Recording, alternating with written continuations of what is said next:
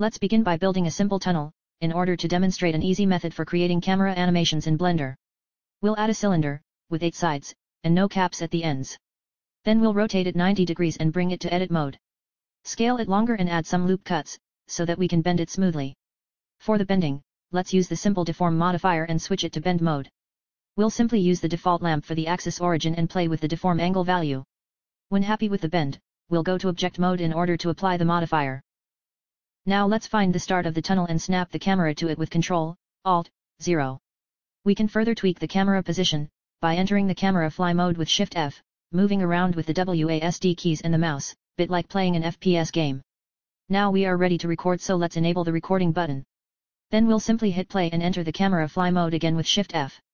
Now we'll just do our best to guide the camera through the tunnel, and everything will be recorded as keyframes on the timeline. The result looks pretty nice but it has some shakiness from the mouse movement. Let's open up the graph editor in order to smooth things out.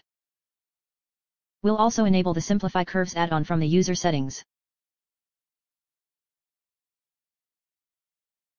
Now we'll make sure our curves are selected, and then hit the spacebar and search for the Simplify Curves tool. At first, nothing seems to happen. That's because we need to change the margin of error here. Now our curves are getting nice and smooth, as you can see from the result here.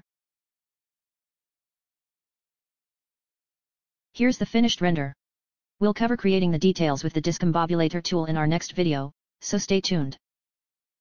Thanks for watching and see you next time on 1MinuteVideoTutorials.com.